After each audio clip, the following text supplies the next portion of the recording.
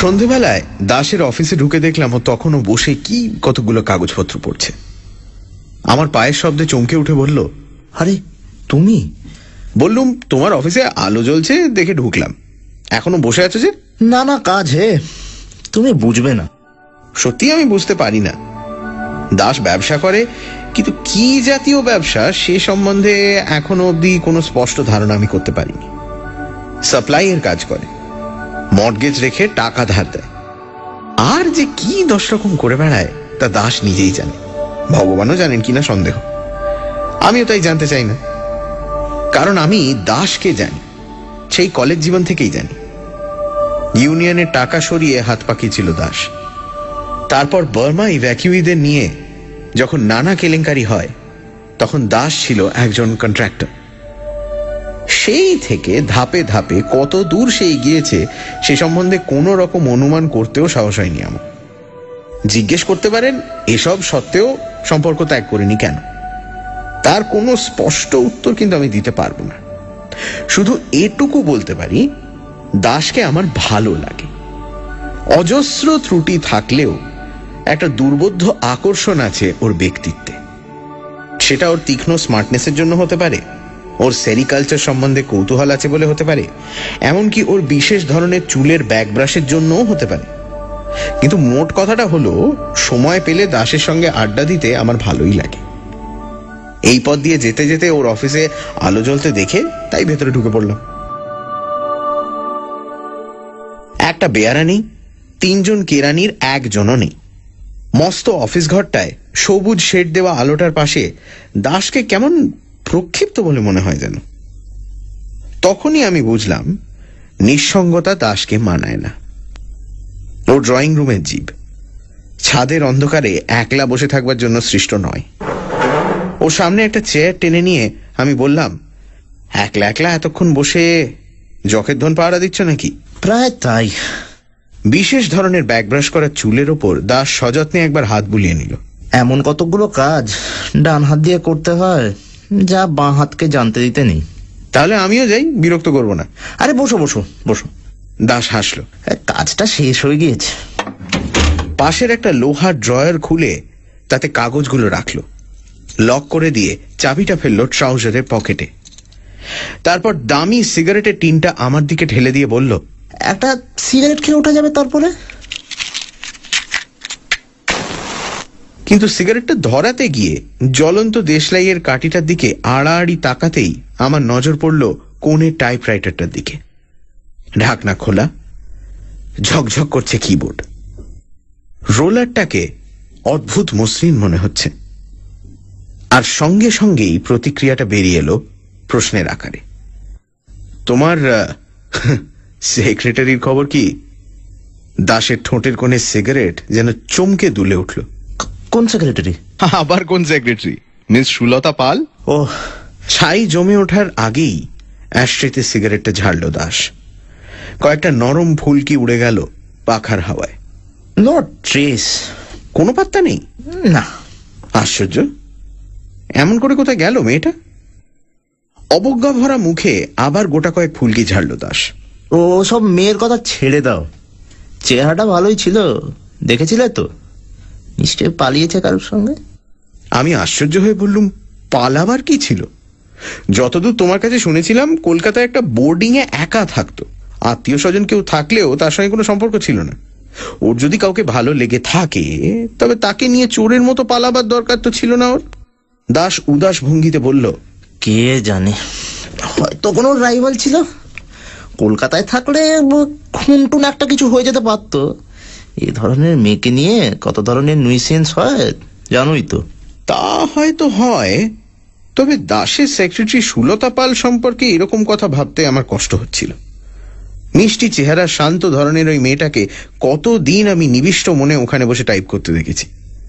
সামান্য একটু নিরীহ ঠাট্টাতেও যে মেয়ের গালের রং লাল হয়ে যায়, নিচু হয়ে যায় চোখের পাতা, তার মধ্যে ঠিক এই সব জিনিস আমি আশা করিনি। আমি সাহিত্যিক নই, তবু সাহিত্যিকের ভাষায় আমার মনে হলো, যেসব মেয়ে প্রথম প্রেমের জন্য চিরকুমারী থেকে যায়, সুলতা সেই দলের। কিন্তু সুলতা যে প্রায় পনেরো দিন নিরুদ্দেশ, এটা ঠিক কথা। কোনো অ্যাক্সিডেন্ট হয়নি, কোনো বিপদে পড়বার মতো কাঁচা মেয়েও সে নয়। অতএব সে পালিয়েছে, এটা ধরে নেওয়া যেতেই পারে। দাস বলল, তবে সেক্রেটারির ভাবনা নেই। আজও তিনজন ইন্টারভিউ দিয়ে গিয়েছে, তবে মেয়েটা বড় ভালো কাজ করতো। হুম, তা করত। দাস চুপ করে রইল। একটু আগে যে সিগারেটটা সে বারবার টোকা দিচ্ছিল, অনেকটা ছাই জমতেও এবার সে সেটাকে আর ছাড়ল না। আমিও চুপ করে বসে বসে ছাইটা কখন ভেঙে পড়ে সেইটাতে একবার জন্য অপেক্ষা করতে লাগলুম।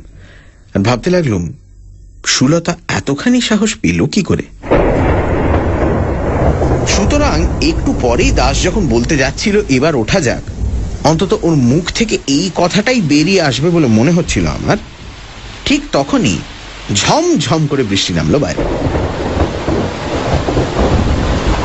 খোলা দরজা দিয়ে ভেজা ধুলোর একটা তপ্ত গন্ধ ঘরের ভেতর এলো, আর সেই হাওয়া দাসের সিগারেট থেকে ছাইটাকে কেড়ে নিয়ে চলে গেল। দাস বলল কি বৃষ্টি নামলো যে? গাড়িটাও তো আনিনি। বললুম না থামলে বেরোনো যাবে না। বেশ ঘটা করে নেমেছে। ট্র্যাম পর্যন্ত যেতে গেলেও ভিজে ভূত করে দেবে। তাই থামুক। দাস বলল তাহলে একটু বসো তুমি। আমি একটা টাইপের কাজ সেরে নি ততক্ষণ। উঠে টাইপরাইটারের দিকে এগিয়ে গেল দাস। সুলতার সম্পর্কে ভাবনাটা ভুলবার জন্য আমি একটা বাণিজ্য সংক্রান্ত পত্রিকা কুড়িয়ে নিলুম টেবিল থেকে। তারপর মাল্টিপারপাস স্কিমের ওপর একটা প্রবন্ধ পড়বার চেষ্টা করতে লাগল। আলগা মনোযোগের ভেতরে কানে আসতে লাগল বাইরে বৃষ্টির আওয়াজ টাইপরাইটারের রোলারে কাগজ জড়ানোর খসখসানি তারপর খটাখট করে গোটা কয়েক টাইপিং এর শব্দ। পরক্ষণেই দাস হেসে উঠল। হাসি কেন? ব্যাপার কি? এসো এখানে। দেখো কি মজা হয়েছে। আমি উঠে গিয়ে ওর পাশে দাঁড়ালাম। মজাই হয়েছে বটে একটা। ওপরে টেন্ডার বলে হেডিং দিয়ে তার নিচে তিনবার টাইপ করে বসেছে একটি নাম। সুলতা পাল। অবাক হয়ে বললাম এর মানে? সুলতা পালের নাম টাইপ করছ কেন? দাস বলল আরে মানেটা তো আমিও ভাবছি। লিখতে গেলাম টেন্ডার লিখে বসলুম সুলতা পালের নাম। তাও একবার নয় তিনবার। আমি বললাম না তাতে অস্বাভাবিক কিছু নেই। এতক্ষণ ধরে ওকে নিয়েই তো আমরা আলোচনা করছিলুম। আর ওর ব্যাপারটাও এত বিস্ময়কর যে মনের ভেতরে ওর নামটাই ঘুরছিল। অন্য মনস্কভাবে তাই চেপে বসেছ আর কি। তাই বটে। দাসের মুখের ওপর একটা বিষণ্ণ ছায়া নেমে এলো। আজ এক বছর ধরে এইখানে বসে টাইপ করেছে সুলতা। একেবারে ঘড়ির কাঁটার মতো। একটা দিন কামাই করেনি এক মিনিট লেট করেনি পাঁচ মিনিট আগে ছুটি নিয়ে চলে যায়নি কোনোদিন। এর প্রত্যেকটা চাবিতে সুলতার আঙুল জড়িয়ে রয়েছে। আবার আমরা দুজনে গম্ভীর হয়ে রইলুম। সুলতার শান্ত মিষ্টি মুখখানা আমি ভুলতে পারছি না। দাসের চোখ দুটো কেমন উদাস আর গভীর হয়ে গেছে। আমার জিজ্ঞেস করতে ইচ্ছে হলো, তুমি কি ওকে ভালোবাসতে? বাইরে বৃষ্টি পড়তে লাগল। ধুলো আর উঠছে না। দরজা দিয়ে ঠান্ডা ভিজে হাওয়া ঘরে আসছে। দাস দরজাটা বন্ধ করার কথা বলল না। আমিও উৎসাহ পেলাম না। শুধু বৃষ্টির শব্দ, আমাদের চুপ করে থাকা আর ঘরের ভেতরে কোথা থেকে উড়ে আসা একটা চামচিকের চঞ্চল ছায়া কিছুক্ষণ ধরেই স্তম্ভিত হয়ে রইল। দাসী শেষে স্তব্ধতা ভাঙল। টাইপটা সেরেই ফেলি। কাগজটা খুলে দাস সেটাকে তাল পাকিয়ে নিচের বাক্সটায় ফেলে দিল। জড়িয়ে নিল আর একখানা। আবার খটাখট করে বেজে উঠল টাইপিং এর আওয়াজ। আমি টাইপরাইটারের টেবিলের কোণে দাঁড়িয়ে আছি। এক টানা বৃষ্টির শব্দের মধ্যে টাইপিং এর শব্দ একাকার হয়ে এলো। কখনো কখনো স্পেসিং আর ঘণ্টা বাজার আওয়াজ কানে আসতে লাগল। কতক্ষণ পরে জানি না। কেন যে তাও জানি না। হঠাৎ আমার চোখ নেমে এলো।